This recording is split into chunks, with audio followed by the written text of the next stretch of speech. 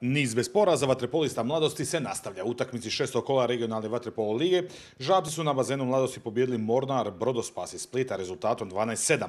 Najbolji streljac kod mladosti bio je Lovre Miloš 4 gola, kod gostiju iz Splita Marin Vrdoljak 3 gola.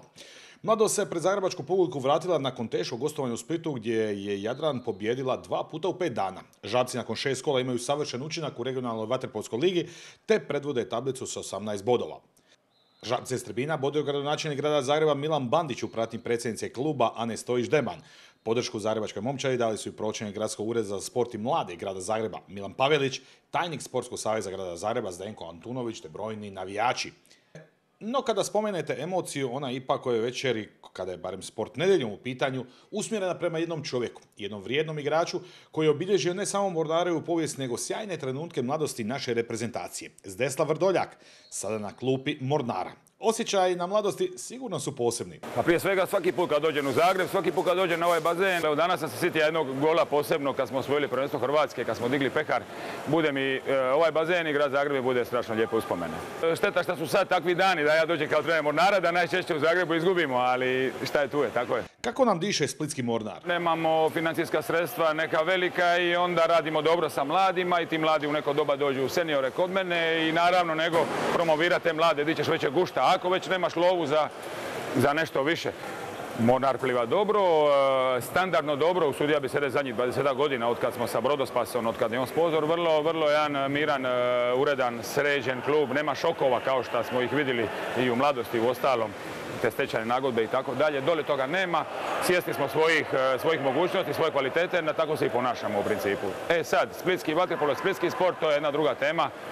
Šta tu, kako bolje, sigurno se može bolje. Evo ove godine je Jadran malo iskočija i držim fige da bude što bolji. Split je dobio domaćinstvo eura 2022. Moram biti iskren, ne razmišljam previše o tome. Preokupiran sam stvarno sa, sa svojim klubom, sa svojim životom, tako da bit će lijepo. Naravno u Splitu, u areni i pogledati Evropsko vaterpolo prvenstvo, da. Osvajač srebra iz Atlante 96. 2007. zlato na svjetskoj smotri u Melbourneu kada je počela ova žetva velikih medalja. I ostale brojne nagrade Zdeslava Vrdoljaka sastavaju jednog od naših najuspješnijih sportaša. Prati li našu reprezentaciju? Što vidi? E, pa ništa, apsolutno. Čak se i ljutim kad neko spominje e, kao Srbiju, kao uzor ili Crnu Goru ili bilo koju drugu državu, mislim da smo mi najbolja, e, najbolja nacija na svijetu. Tako igramo, tako igraju naša dica, naše omladske kategorije, u tako i igraju naši seniori, pa i klubovi na kraju, tri kluba igraju Ligu prvaka, odlični smo u vaterpolu.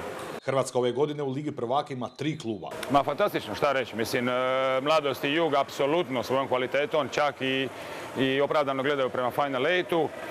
E, Jadran je malo niže kvalitete, ali budi se i to jako veseli igra lijepe utakmice u Splitu. Pratio je sigurno posljednjih godina Zagrebačku mladost, njenu kalvariju i sve ono što je taj klub prolazio i prolazi zadnjih godina. Ne asocira me to na mladost. Na mladost me, kad dođem tu, asocira me i bude mi se uspomene lijepih trenutaka, lijepih golova, ljudi koje sam volio, koje volim i sada. Bone se sjetim te ekipe kad smo osvajali.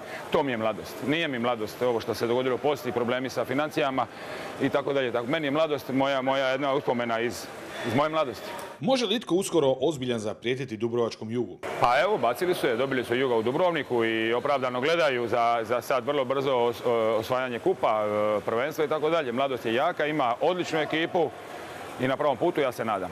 Nekada briljantan igrač, kapetan uz kojeg je Ratko Rudić vezao sve svoje planove s našom reprezentacijom. Godinama u Mornaru, sanjali možda trenerski iskorak? I tu moram priznati da sam kao mlađi trener, ono kad sam tek počeo, imao puno veće snove. Međutim, kako idu godine, tako i snovi malo, malo padaju. Naravno da imam ambicije i snove. Šta će se dogoditi u mojoj danju terenskoj karijeri, ne znam. Trenutno gledam sadašnjosti Monara. I tako bi mogli još pitanje po pitanje, još satima. Puno emocija kada je Zdesla Vrdoljak u pitanju. I onaj vaterpolo. Eh, bila su to vremena. Ništa Zdeslave, do novog susreta u našem studiju. Studiju Sporta nedeljom.